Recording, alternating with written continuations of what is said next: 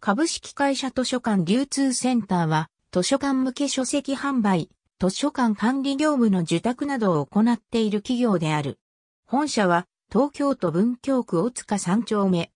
慢性的な赤字体質に陥っていた日本図書館、協会整理事業部の業務を引き継ぐための会社として、取り次ぎなどの出版会や、石井明が設立した図書館向けの図書販売会社、学校図書サービスから協力を得て、1979年12月に設立された。出資者は日本図書館協会のほか、学校図書サービス、出版取り次ぎ6社、出版社11社の計19社。出版会から乗り換えを得ることができたのは、講談社社長代行、日本書籍出版協会理事長であった、服部俊之の協力によるもので、服部は図書館流通センターの初代社長を務めている。副社長は日本図書館協会から人を出すことになっており、初代副社長は、八吉光長であった。設立後は、順調に業績を伸ばし、日本図書館協会整理部の負債を返済した。1993年に学校図書サービスと合併、2010年2月1日には、マルゼン株式会社と共同持ち株、会社 CHI グループ株式会社を設立しその参加となった。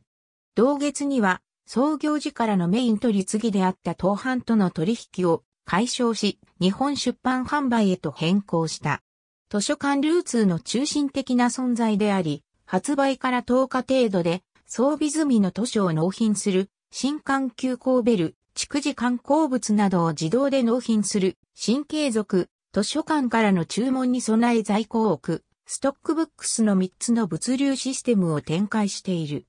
日本の民間、マークの一つである。TRC マークは公共図書館への提供に実績があり、当販の書士情報検索システム、日本書店商業組合連合会のマーク、国立情報学研究所のなくし CAT の参照、マークなどとしても利用されている。また、図書館の業務委託業界においても筆頭であり、1996年6月に福岡市総合図書館の管理運営業務を受託、2004年10月には PFI 方式による日本初の図書館桑名市立中央図書館を開館した。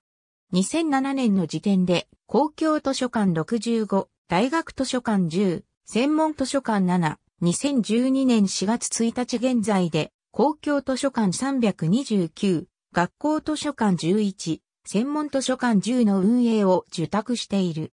図書館向け以外の業務としては、2000年からオンライン書店 PK1 の運営を行っていたが、2012年5月にニダファクトが運営する本トに統合された。2019年秋に開館することが決まった和歌山市の蔦屋図書館の入札では自治体が設定する上限額に対する事業者側の入札額が99.998%であり、落札率99%なんて通常ではありえないと指摘されている。地元書店にとって公共図書館をはじめとした図書館への納入は大規模かつ定期的な収入が確保できる、いわゆるお得意先であるが、図書館流通センターによる納入、書士情報、装備等、図書館に特化したパッケージに、そのお得意先が奪われることが相次ぎ、書店業界との対立関係を指摘されることがある。ありがとうございます。